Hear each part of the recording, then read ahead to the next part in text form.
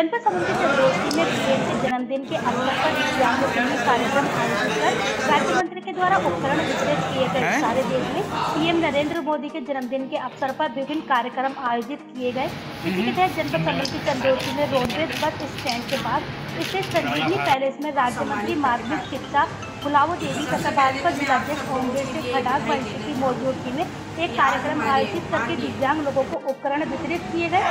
उपकरण पाकर के दिव्यांग लोगों के चेहरों पर मुस्कान आ गई। वहीं इस विषय में बात करते हुए प्रदेश सरकार में माध्यमिक शिक्षा राज्य मंत्री गुलाबो देवी ने कहा कि देश की यशस्वी प्रधानमंत्री मोदी जी के जन्मदिन के अवसर पर भाजपा कार्यकर्ताओं ने एक कार्यक्रम आयोजित करके दिव्यांगों को उपकरण वितरित किए। हमारे माननीय मोदी जी जी का आज सत्तरवा जन्मदिन है। उनका जन्म उत्सव सेवा सप्ताह के रूप में हम लोग मना रहे हैं। किसी दिन महिलाओं के द्वारा फल वितरण किए जा रहे हैं तो किसी दिन गरीबों के लिए चश्मे वितरण किए जा रहे हैं। आज दिव्यांगों के लिए यंत्र जो वितरण किए गए हैं, हमारे जिलाध्यक्ष जी मौजूद हैं।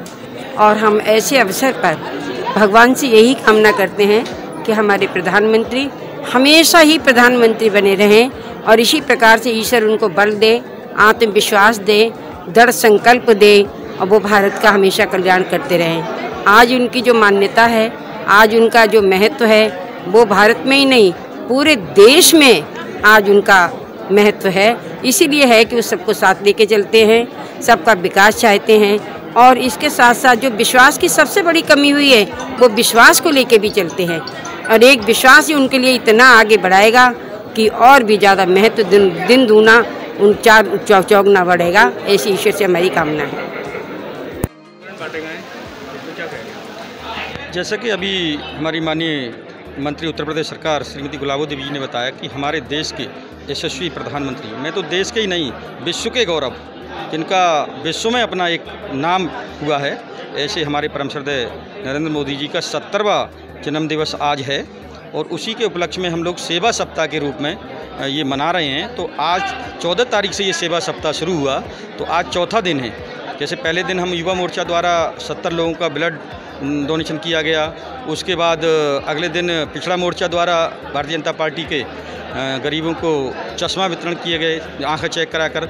और तीसरे दिन हम सब लोगों ने कल स्वच्छता, सार्वजनिक स्थलों पर चाहे वो रोडवेज़ रही हो, रेलवे स्टेशन हैं, मंदिर हैं, मठ हैं, वहाँ स्वच्छता का काम किया। आज चौथे दिन हमने माननीय परम श्रद्धेय नरेंद्र मोदी जी के जन्म दिवस पर आज दिव्यांगों को, उनको जो आवश्यकता है, किसी को ई रिक्शा की आवश्यकता है, किसी को बैसाखी की आवश्यकता है, किसी को कान की मशीन की है, यानी जिस दिव्यांग को जो आवश्यकता है, वो जनप्रतिनिधियों के सहयोग से आज ये किया गया है। इसी प्रकार से कल हम लोग सत्तर गाँव में स्वच्छता अभियान चलाएँगे। उसके बाद उन्नीस को हम सत्तर वृक्ष, सत्तर गाँव में वृक्षारोपण का काम करेंगे, यानी पूरे सप्ताह, सेवा सप्ताह के रूप में मनाएँगे हमारे प्रधानमंत्री जी ने और हमारी पार्टी सिर्फ़ सत्ता के लिए राजनीति नहीं करती है। राष्ट्र देवोभव राष्ट्र हमारा देवता है, भारत माता की हमेशा जय रहे, भारत को सशक्त और विश्वगुरु बनाने के लिए काम करती है भारतीय जनता पार्टी। उसी उपलक्ष्य में हम अपने देश के प्रधानमंत्री जी की दीर्घ आयु की और स्वास्थ्य की कामना करते हुए आज इस प्रकार से हम उनके जन्मदिन को मना रहे हैं।